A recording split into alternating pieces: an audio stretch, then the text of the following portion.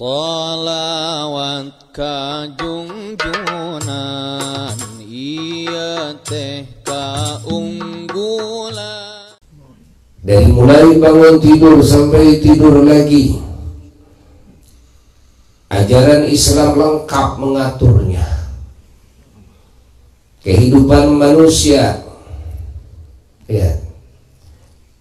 Kehidupan manusia mencari rizkinya, usahanya diatur oleh Islam, bisnisnya diatur oleh Islam.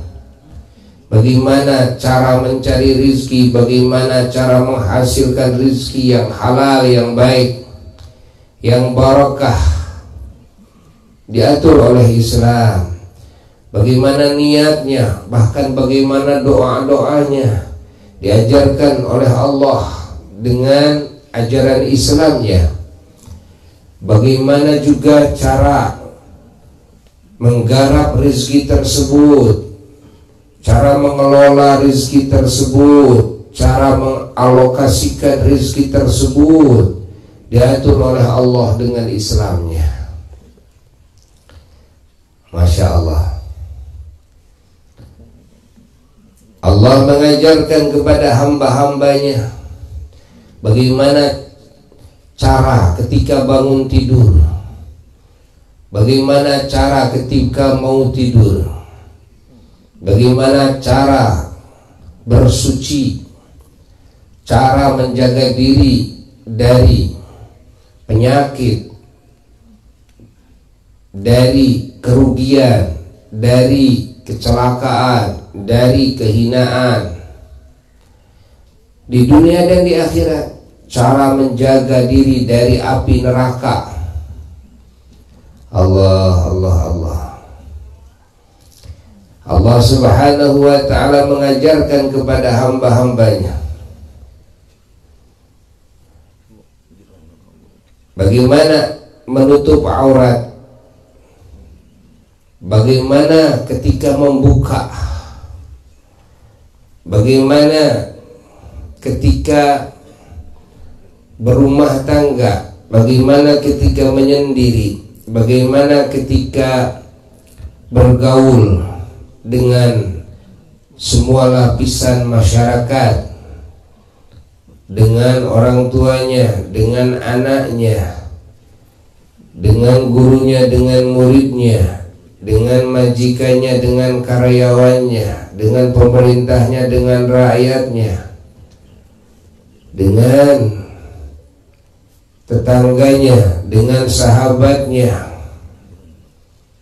Masya Allah, bagaimana bergaul dengan orang-orang yang berbuat kebaikan kepadanya, bagaimana bergaul dengan orang-orang yang berbuat kejelekan kepadanya. Bagaimana bergaul dengan orang-orang yang muslim Bagaimana bergaul dengan ulama dengan aulia dengan syuhada dengan solehin dengan anbiya mursalin alaihi wassalatu wassalam. Wabil khusus dengan nabinya sendiri Sayyiduna wa maulana Muhammad sallallahu alaihi wasallam. Dan dengan gurunya sendiri dengan orang tuanya sendiri dengan suaminya sendiri dengan istrinya sendiri dengan anaknya sendiri bagaimana bergaul dengan makhluk Allah yang lainnya dengan malaikat? Bagaimana bergaul dengan bangsa jin? Bagaimana cara bergaul dengan setan? Itu diajarkan oleh Allah. Pergaulan yang penuh permusuhan dengan setan dengan iblis. Ya, itu diajarkan oleh Allah sama muamalah bergaul tapi pergaulannya penuh dengan permusuhan. Masya Allah. Kalau kepada selain Allah pergaulannya penuh dengan rahmah dengan kasih sayang. Ya. Diajarkan oleh Allah Jalla Jalaluhu pergaulan dengan para kekasih Allah juga dipenuhi dengan ta'zim dengan hub dengan cinta Masya Allah pergaulan dengan ulama ya, pergaulan dengan Rasulullah Sallallahu Alaihi Wasallam juga ditambah dipenuhi dengan ketaatan. Nah, cara bergaul diajarkan oleh Allah Jalla Jalaluhu wahdah. Masya Allah. Hatta hal-hal yang sepele menurut kita padahal ini urusan besar. Cara kentut, ya, cara buang berak, cara bersucinya, cara batuk, cara bersin. Allah, Allah, Allah, Allah. Diajarkan oleh Allah, ya. Diajarkan oleh Allah. Masya Allah. Mengatur raut wajah, kan?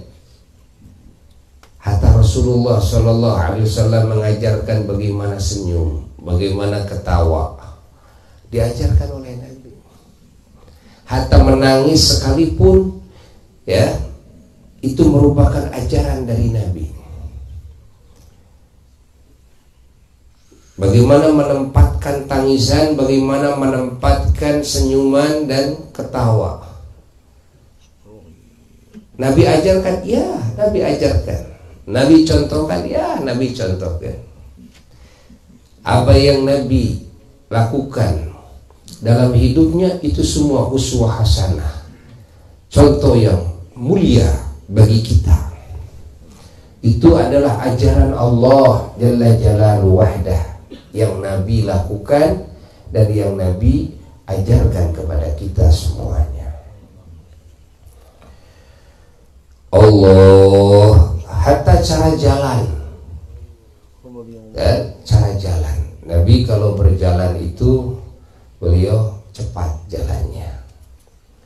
Cara jalan sekalipun Masya Allah. Nabi ajarkan ya Nabi ajarkan. Allah Allah Allah Allah. Cara duduk Nabi ajarkan ya. Cara duduk Nabi ajarkan. Cara bangkit dari duduk Nabi ajarkan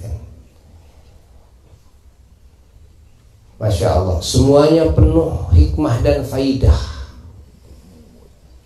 Dan tidak menyalahi aturan akal. Maka ketika Buya ditanya Kalau orang sujud dan Dari berdirinya Dalam sholat Kalau sujud mana yang harus didahulukan ketika sujud apakah menaruh lutut atau menaruh tangan? Ya yang harus didahulukan. Walaupun dalam pembahasan di sini ikhtilaf di kalangan para ulama tapi yang ala akrob yang lebih dekat kepada akal adalah mendahulukan lutut. Ketika mau sujud dahulukan lutut dulu. Ya Lalu setelah lutut apa? Dua telapak tangan. Dua telapak tangan. Dan menaruh telapak tangan pun juga tuh, ini ujung tangan harus sejajar dengan bah, ujung bahu kita. Apa hikmahnya, faidahnya? Hikmahnya, faidahnya yang dimengerti oleh akal. Agama ini diturunkan untuk menjaga manusia lahirnya batinnya dari segala bentuk kecelakaan dan kerugian. Ya. Juga kehinaan. Kalau mendahulukan tangan dulu ya, ini tidak lebih kuat dari lutut. Kan kalau tiba-tiba tangannya compare maka nanti akan lebih berbahaya karena nanti kepalanya bisa tersungkur. Ketika kepalanya tersungkur, di sini ada otak. Ini harus dijaga betul-betul.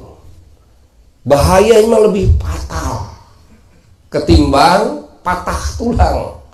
Ya, kalau kepala sudah ya pecah, oh, pembuluh darahnya pecah, ini bahayanya luar biasa. Ya, maka Rasulullah SAW mengajarkan yang didahulukan apa dulu? Lutut. Kalau didahulukan lutut aman, gitu kan? Dari kemungkinan-kemungkinan bahaya. Tapi kalau tangan dulu rawan, gitu kan? Rawan. Pahami oleh kita. Apalagi di dalam ilmu persilatan. Dalam ilmu persilatan ini jangan sampai mendahulukan tangan. Dan ilmu bela diri. Kalau mendahulukan tangan lalu disapu tangan kita oleh orang lain, ini bahayanya fatal. Beda dengan mendahulukan lutut. Oh. Jadi mendahulukan lutut ini akrobu ilal akli. Ini lebih dekat kepada akal. Walaupun kalau membahas riwayat, oh ini ada dua kaul ulama, itu masalah kaul ulama, perbedaan ulama. Tapi mana yang al akrab ilal akli? Ya? yang akrab yang akli adalah mendahulukan lutut. Setelah lutut apa? Tangan. Jangan mendahulukan kepala. Tangan dulu. Dan dahulukan tangan. Posisi tangan jangan terlalu dekat lutut. Karena terlalu dekat lutut nanti terjungkir. Ya. Tidak akan kuat. Tapi juga harus pas di, di bahu kan? Kenapa karena ya ini yang terberat itu menahan bahu. Ini menahan bahu. Nah, kalau tangan ini pas sejajar dengan bahu, maka penyangga itu akan kuat. Tapi kalau di bawah bahu, di dekat lutut, tidak akan kuat nanti, bahaya. Atau di depan bahu juga, tuh, tetap ini tidak akan kuat. Beda dengan di bahu. Kan? Tekanan tangan ini uh, ini akan lebih kuat. Semuanya ya, penuh dengan hikmah. Semuanya penuh dengan hikmah. Sesuai dengan akal yang sehat. Kalau akalnya cerdas, akalnya betul-betul kan memahami kepada hikmah daripada tasyri' daripada apa uh, syariat Islam ini bagaimana Allah menjalankan menerapkan agama ya aturan hidup kepada hamba-hambanya maka pasti akal akan menemukan kesempurnaan Islam. Ya, akal akan takjub dan akan akal ber, akan berkata subhanallah Maha suci Allah. Takjub dengan ajaran Islam ini. Subhanallah. Tidak akan ada kekuatan akal manusia bahkan akal makhluk yang bisa bikin aturan yang sempurna seperti aturan Islam. Tidak akan ada. Maka Allah membanggakan Islam dengan firman-Nya inna dina Indallah Islam sesungguhnya agama di sisi Allah adalah Islam. Siapa yang berkata? Allah. Inna dina indallah Islam. Sesungguhnya agama di sisi Allah adalah agama Islam.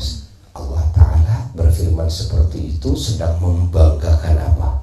Islam. Islam. Ya.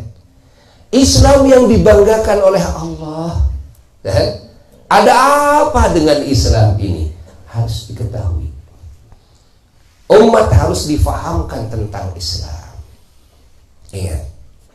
Harus difahamkan tentang Islam. Maka ketika Rasulullah Shallallahu Alaihi Wasallam memahamkan Islam kepada manusia yang tadinya memusuhi Nabi, memusuhi Islam, akhirnya akalnya, hatinya bertekuk lutut sujud di hadapan Islam Ya. Mereka masuk Islam bukan takut oleh pedang Nabi. Mereka masuk Islam bukan dirayu oleh Nabi. Mereka masuk Islam bukan karena ada sogokan dari Nabi. Lah, tapi mereka masuk Islam karena mereka melihat hakikat keagungan yang akal manusia tidak mampu ya, mencetuskan aturan seperti itu tidak akan kesempurnaan ajaran. Nah, Sehingga para sahabat ya, mereka mengerti, fukoha mengerti mereka kepada ajaran Islamnya. Sehingga setelah mereka mengerti, menetap dalam hatinya, mengakar dalam jiwanya, menjadi kebanggaan seperti halnya Allah membanggakan agama